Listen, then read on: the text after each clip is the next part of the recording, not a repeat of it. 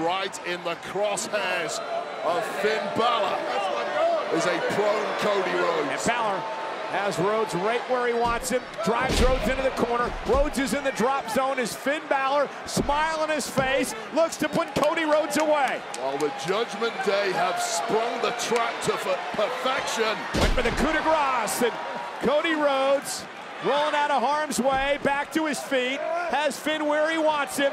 Finn, though, scoops him up, rolls him up, kick out at two. Cody Rhodes needs to get this finished as quickly as he can. Now he got the Cody cutter. What veteran instincts from Finn Balor was perhaps down and out from the Cody cutter, denied. And now Balor staggering and Damian Priest grabbing Rhodes from behind. Just when Balor was in the drop zone. Suicide dive takes out Priest and Balor. And now Cody's fired up. Well, it behooves Cody to strike while Senor Money in the Bank is down and perhaps out.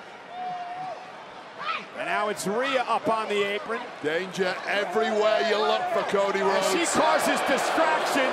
Dirty You've only got two eyes. It just is not enough when you're in there with the Judgment oh! Day. And now Finn gonna meet Cody up top.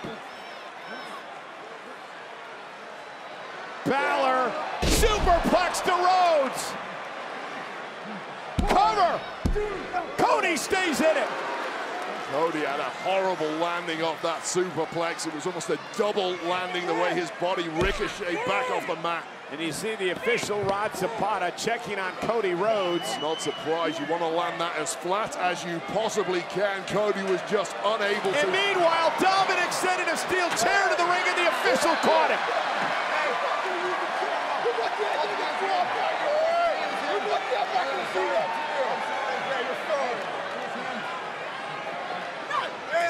him. Now, uh-oh! It backfired again! Cody using the briefcase! Crossroads!